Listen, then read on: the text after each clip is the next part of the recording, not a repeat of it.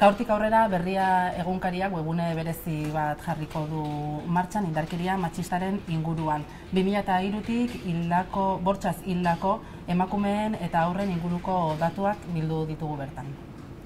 Gure datuen arabera, amasei urte hauetan laro baita emezortzi emakume eta amaika ume hil dituzte Euskal Herrian.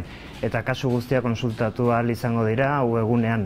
Bilaketak egin ahal izango dira, urteka eh, herrialdearen arabera eta adin multzoen arabera eta mapan markatutako puntuetan klik egin ezkero kasu bakoitzaren fitxak eta xetasunak eta lotutako albisteak irakurri izango dira.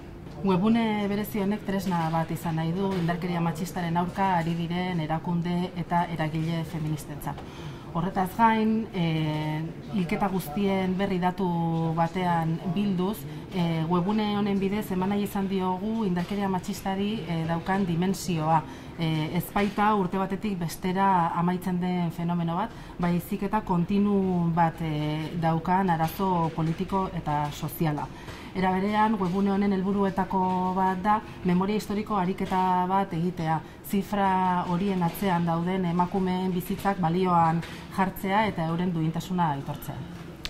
Zifra horiei aurpegia jartzeko ere ilustrazioa egin diogu eguneari maite mutu berrian, nola ere duintasuna eman aian, irudi duin bat eman aian emakumeei, Eta egune honek e, izan nahiko luke etorkizunean e, indarkeria matxistari buruzko lan zabalago bat egiteko eta zabaltzeko leku bat ere.